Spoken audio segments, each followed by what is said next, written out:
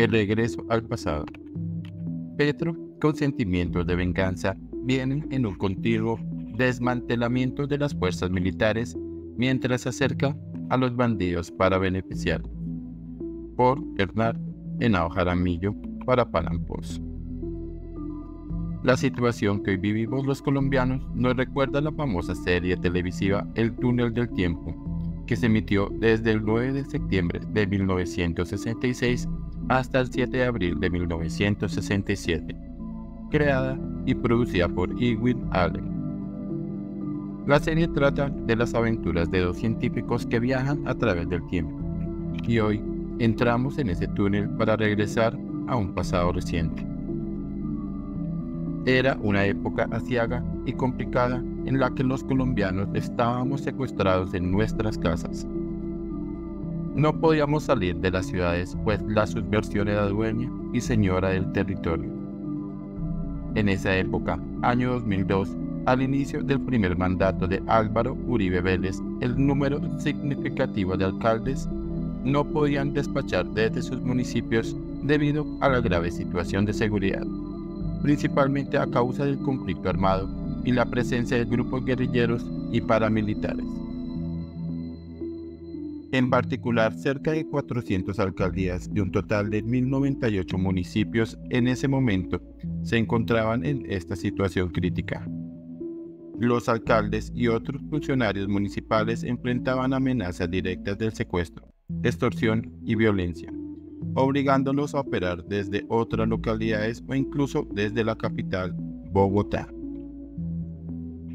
Hoy, quien lo creyera, sin cumplirse aún dos años del destructor gobierno de Gustavo Petro, hemos regresado en peores circunstancias a aquellos tiempos. Ya son cerca de 500 los alcaldes que se ven obligados a despachar desde las capitales de los departamentos ¿Cómo es posible que nos encontremos en esta situación cuando el gobierno Santos firmó el acuerdo de la paz? Y el gobierno Petro ha pregonado su política de paz total. Procesos que como se han concebido han sido y son un graso error, como lo demuestra la realidad que hoy se vive. Y en absoluta incoherencia con la paz que vocea, le pareció a Petro necesario destruir la imagen del gran colombiano ya que en el país hay más uribismo que militancia del centro democrático. Álvaro Uribe Vélez fue presidente de Colombia durante dos periodos consecutivos, de 2002 a 2006 y de 2006 a 2010. Su gobierno se caracterizó por una pujante política de seguridad conocida como seguridad democrática, la que verdaderamente unificó al país y le brindó tranquilidad al pueblo colombiano. Además, de su gestión sobresalieron las políticas económicas y sociales que ahora Petro pretende destruir. A la llegada del presidente Uribe al poder, Colombia estaba sumida en un conflicto armado interno con presencia de PAR, ELN y paramilitares. Tal como ocurre al día de hoy, se producían numerosas masacres y asesinatos de líderes sociales también secuestros, homicidios, extorsiones, desplazamientos forzados y reclutamiento de menores.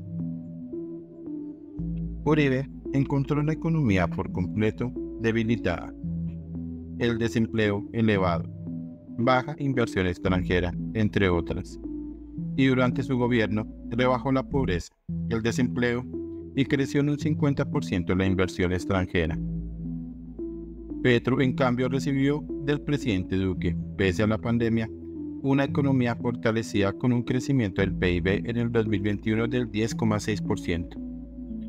Ahora la tiene en el 0,7%, escasamente al borde de la recesión y cerca del default. Uribe, en sus dos periodos, tuvo que enfrentar grandes problemas de corrupción sin ser nunca señalado Petro, en contraste, es el abanderado de la corrupción e intenta hacer creer que es a sus espaldas. Pero se nos ha dejado conocer que desde su campaña y su forma de hacer política se basa en la mentira y en la posverdad. Lo que más se recuerda de la era Uribe es su política de seguridad democrática. A través de un firme apoyo a las fuerzas militares logró aplicar estrategias que redujeron los índices de criminalidad en todo el país. Los colombianos obtuvimos protección a nuestras vidas, confianza en el Estado y pertinencia de patria. Petro, en cambio, con sentimientos de venganza, viene en un continuo desmantelamiento de las fuerzas militares, mientras se acerca a los bandidos para beneficiarlos, incluso expide una absurda norma según la cual se les dará dinero por no delinquir. Tremendo despropósito. Caos total. Uribe desmovilizó a los paramilitares y los sometió a un proceso de justicia transnacional, justicia y paz. Esto contribuyó notablemente a la reducción de la violencia.